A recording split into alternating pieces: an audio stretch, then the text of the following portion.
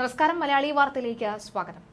ലബനനിൽ ഹിസ്ബുള്ളക്കെതിരെയുള്ള തുറന്ന യുദ്ധത്തിൽ നിന്ന് ഇസ്രയേലിനെ പിന്തിരിപ്പിക്കാൻ അമേരിക്കയുടെ തീവ്ര ശ്രമം നടക്കുകയാണ്.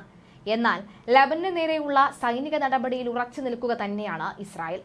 ദീർഘകാല യുദ്ധത്തിന് സജ്ജമാണെന്നാണ് ഹമാസ് തലവൻ യഹിയ സിൻവാറും അറിയിച്ചത്. ലബനന് നേരെ തുറന്ന യുദ്ധത്തിൽ നിന്ന് ഇസ്രയേലിനെ പിന്തിരിപ്പിക്കാൻ തിരക്കിട്ട നീക്കം തുടരുന്നതായാണ് അമേരിക്ക സൂചിപ്പിക്കുന്നത്. ഇന്നലെ ടെല്ലവീവിൽ ഇസ്രായേൽ നേതാക്കളുമായി യു എസ് പ്രസിഡന്റ് ജോ ബൈഡന്റെ ഉപദേശകൻ ആമോസ് ഓസ്റ്റിൻ ചർച്ച നടത്തിയിരുന്നു. ലബനനെതിരെ വ്യാപക യുദ്ധം മേഖല യുദ്ധമായി മാറുമെന്നും തുടർ പ്രത്യാഘാതങ്ങൾ ഗുരുതരമായിരിക്കുമെന്നും ഓസ്റ്റിൻ ഇസ്രായേൽ നേതാക്കളെ അറിയിച്ചതായാണ് മാധ്യമങ്ങൾ റിപ്പോർട്ട് ചെയ്തത് എന്നാൽ വടക്കൻ ഇസ്രയേലിൽ നിന്ന് മാറ്റിപ്പാർപ്പിച്ച ആയിരങ്ങളുടെ തിരിച്ചുവരവിന് അവസരമൊരുക്കുകയാണ് പ്രധാനമെന്ന് നെതന്യാഹു പറയുന്നു. സൈനിക സമ്മർദ്ദത്തിലൂടെ മാത്രമേ ഹിസ്ബുള്ളയെ അമർ ചെയ്യാൻ കഴിയൂ എന്നായിരുന്നു പ്രതിരോധ മന്ത്രി യോവ് ഗാലറ്റിന്റെ പ്രതികരണം. കഴിഞ്ഞ ദിവസം ഹൂതികൾ അയച്ച മിസൈൽ തെല്ലവീവിൽ പതിച്ചതിന്റെ ആഘാതത്തിലാണ് ഇസ്രായേൽ. ശക്തമായി പകരം ചോദിക്കുമെന്ന് നെതന്യാഹു ആവർത്തിക്കുകയാണ്.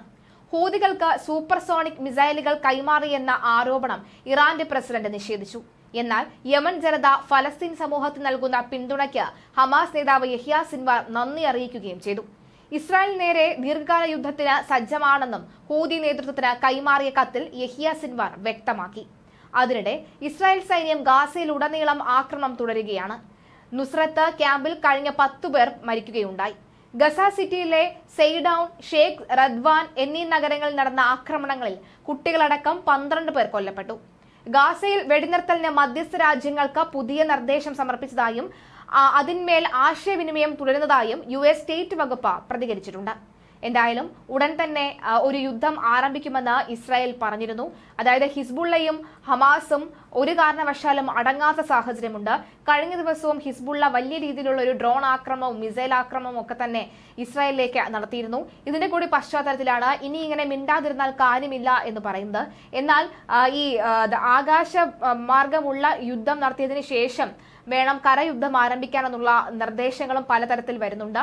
എന്തായാലും ലബനാനിൽ ഹിസ്ബുള്ളയ്ക്ക് നേരെയുള്ള യുദ്ധം തുറന്ന യുദ്ധത്തിന് ഇപ്പോൾ തൽക്കാലം പറ്റിയ സമയമല്ല എന്ന് അമേരിക്കയും ആവർത്തിക്കുകയാണ്. എന്തായാലും അമേരിക്കയുടെ വാക്ക് ഇസ്രായേൽ കേൾക്കുമോ ഇല്ലയോ എന്ന് കണ്ടറിയേണ്ടതുണ്ട്. പക്ഷെ എപ്പോഴും അമേരിക്ക ശക്തമായി തന്നെ ഇസ്രായേലിന് വേണ്ട പിൻബലങ്ങളൊക്കെ നൽകുന്നുണ്ട്. പക്ഷെ എപ്പോഴും ഈ പറയുന്നത് പോലെ തന്നെ ഈ അമേരിക്കയുടെ പ്രധാന ആവശ്യം ഇപ്പോൾ ഒരു യുദ്ധം വേണ്ട എന്ന് തന്നെയാണ്. കണ്ടറിയാം എന്തായിരിക്കും ഇസ്രായേൽ ഒരു അന്തിമ തീരുമാനം കൈക്കൊള്ളുക എന്നത്.